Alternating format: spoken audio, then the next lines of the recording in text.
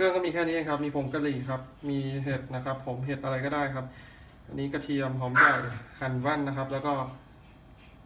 แครอทหั่นเป็นแท่งๆบางๆอย่างนี้ครับลวกอุด้งกันก่อนเลยครับจะได้ทำทุกอย่างง่ายนะน้ำเดือดเราก็ใส่อุด้งไปครับ ง่ายๆเลยแล้วเดี๋ยวเราก็ค่อยๆคนไปอย่างเงี้ยครับ พอเส้นแยกแยกเขาเรียกอะไรแยกออกจากก้อนก็ใช้ได้นะครับ ไม่ต้องลวกนานนะเดี๋ยวเละ พอหอมเริ่มหอมแล้วก็กระเทียมครับตามลงไปเลยครับ แล้วก็ผัดให้หอมพอนะครับผม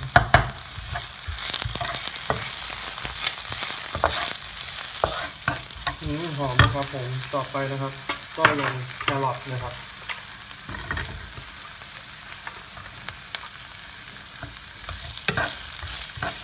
ผัดไปสักพักหนึ่งครับ ให้แครอทมันสุกนิดนึงครับ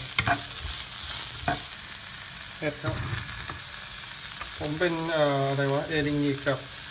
ชิเมจินะครับ ผมใครได้เห็ดอะไรมาก็ใส่ก็ได้ หรือว่าถ้าใครมีเนื้อนะครับ เนื้อแบบคล้ายๆ เนื้อชาบู หมูชาบูแบบบางๆเงี้ยครับ ใส่ลงไปตอนนี้แล้วก็ผัดได้เลยครับ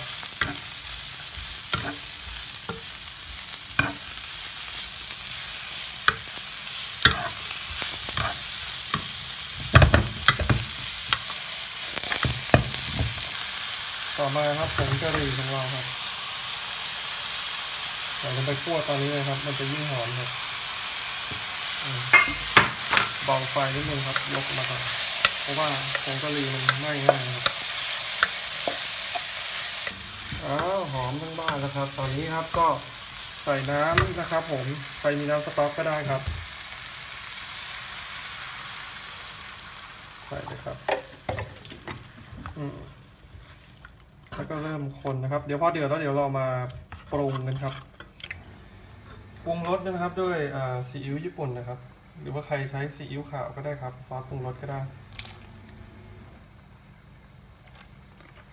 แล้วก็น้ำตาลนะครับผม ตัดไปหน่อยครับ แล้วก็ลองคนชิมดูครับ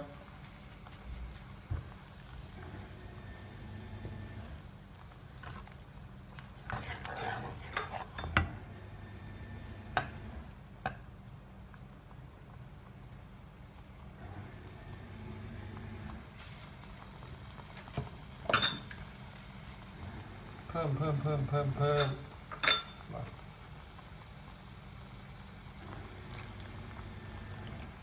ครับผม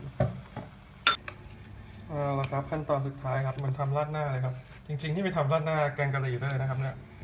มีหมูนุ่มหน่อยนะ เราก็ใส่แป้งมันละลายน้ำของเราครับที่ผมขอคนเนี่ยเมื่อกี้มันค้าง ครับก็ค่อยๆใส่ไปนะครับ ใส่ปุ๊บแล้วเราก็คนครับ ดูได้ได้ความเหนียวที่ต้องการนะครับ ปรับให้มันเดือดขึ้นมาหน่อยใส่ไปมันคล้ายๆราดหน้าแกงกะหรี่เลยครับ ผมพูดซ้ำหรือเปล่าไม่รู้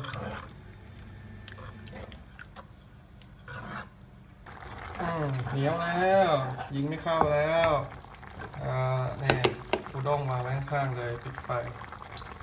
เสิร์ฟมันตอนเดือดๆมาแล้วเห็นไหมหอมหมาเห่าเลยลาไปเลยครับ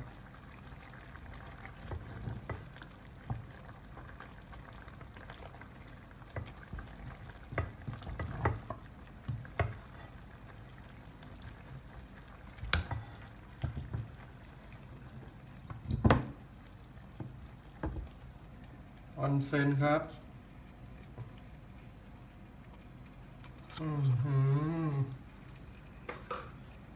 เนื่องจากเมทัศเป็นมนุษย์แบบ มนุษย์มนุษย์เพิ่มไข่อันนี้มันยางมาตูมนะครับผม เนี่ยครับนี่จิ้มให้ดูเลย มนุษย์ไข่ก็อัดไข่ลงไป แล้วก็ขอเขียวๆหน่อยนึงไม่มันไม่มีสีเขียวเลยครับ ขอเขียวๆ ใครจะใส่ต้นหอมก็ได้ครับ แต่ผมลืมซื้อครับผม นี่เรียบร้อยครับผมอูรเอ้ยอุด้งอุด้งว่ะอุด้งกะหรี่นะครับ ผมคาเลอุด้งนะครับ ไปกินที่ญี่ปุ่นก็ได้นะครับ แต่ว่าทำกินเองก็ไม่ยากนะครับ ผมแล้วก็ไม่แพงด้วยต้นทุนประมาณไม่เกินเท่าไหร่สามสิบบาทอร่อยเอาละชชิมดิ ขอเยอะๆโหสุดยอดอะ